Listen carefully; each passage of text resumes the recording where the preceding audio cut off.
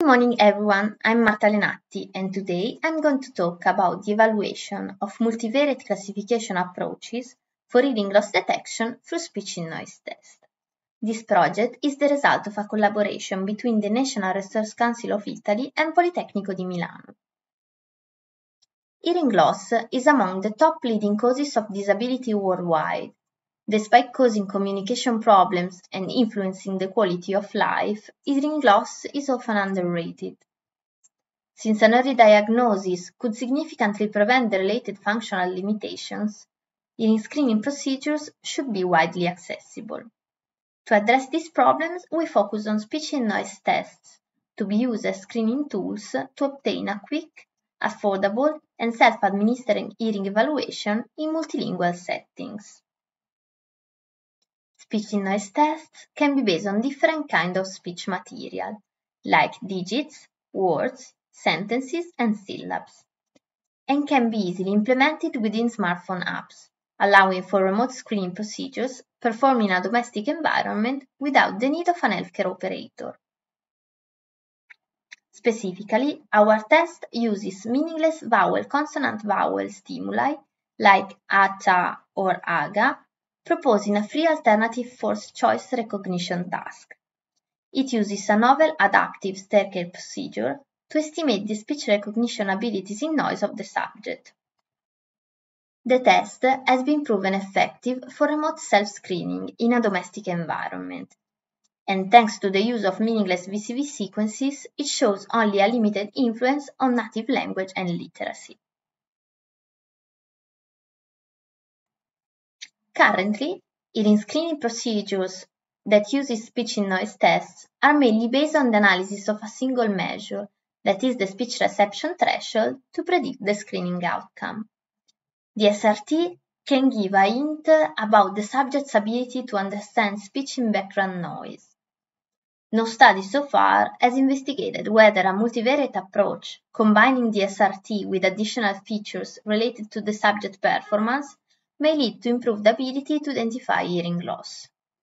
In addition to the SRT estimated using a newly developed staircase, our system extracts a set of additional features. These features are fed into machine learning algorithms to implement a multivariate approach for automatic hearing loss detection. The features extracted included age, the number of trials, the number of correct responses, the percentage of correct responses, the average reaction time, the total test duration, and the volume level.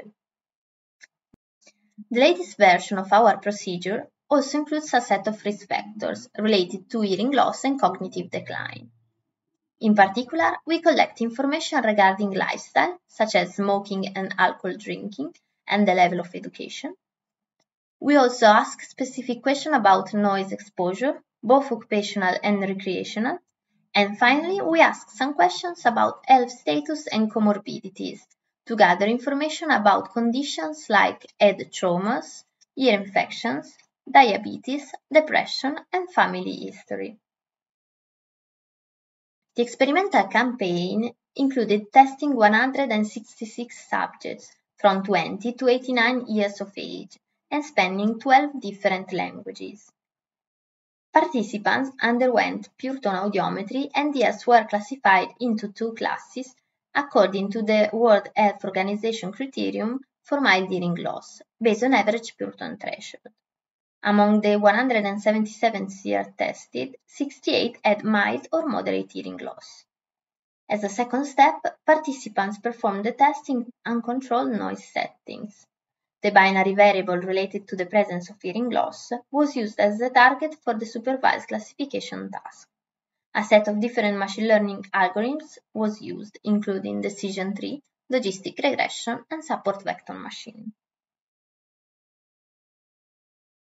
The average performance of multivariate classifier over 50 iterations were evaluated by considering the 80% of the dataset as training set and the remaining 20% as test set. As a result, logistic regression and support vector machine performance on the test set were better in terms of sensitivity and area under the ROC curve when compared to a conventional univariate classifier based on SRT only, proving that screening procedures based on speech in noise test may be improved by introducing a multivariate approach, including additional features besides the SRT. The observed performance reached a moderate level of accuracy, in line with the findings obtained for other well-known automated speech in noise tests, like earcheck and occupational earcheck. Moreover, some features, like age, the number of correct responses, and the average reaction time, together with SRT, seems to be more relevant than others in detecting hearing loss. Further research is needed to validate the speech in noise test and the classification methods on a larger population, involving more subjects with hearing impairment, also with higher degree of hearing loss. Subsequently, optimized model definition and finer hyperparameter tuning could be achieved, and this could further help towards the development of a smartphone app for adult hearing screening. The study is part of Whisper project, partially supported by Cariplo Foundation. We are open for collaboration, so if you want to help, please feel free to email us for further information. Thank you for the attention.